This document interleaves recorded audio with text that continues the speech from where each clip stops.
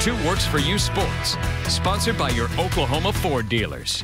Greetings, everybody. Our senior shoutouts continue. Tonight, we head to Edison, where things didn't go quite as planned for Jace Tyler in his final two semesters of school. But as Jacob Toby tells us, that won't keep him from continuing to live a life focused on helping others. That, that was terrible. That was the worst time of my life, probably, going through that. There were two reasons why Jace Tyler's senior year at Edison didn't go as planned. The first, the Eagles linebacker tore both his ACL and meniscus on senior night, ending his 2019 season. It was, it was pretty sad just not being able to like be there with the team.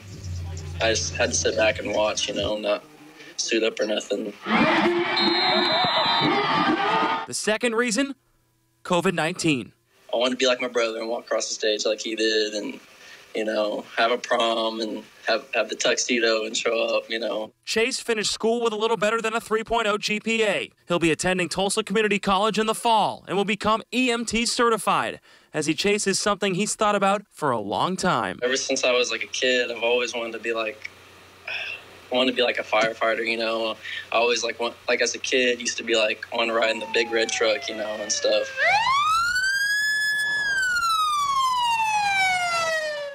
Man, it, it mean it mean everything like to me because I I'll be able to uh, serve to my community and like I've always done like community service, like helping out with other things. You know, like if I were to be a firefighter of Tulsa, it just makes me feel like I'm always like serving my community and helping out with my community. So that's really what I want to do.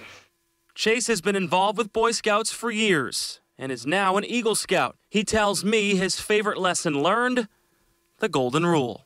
You treat other people the way you want to be treated, you know, and you always just be on your best behavior and you never want to look down on someone, you know.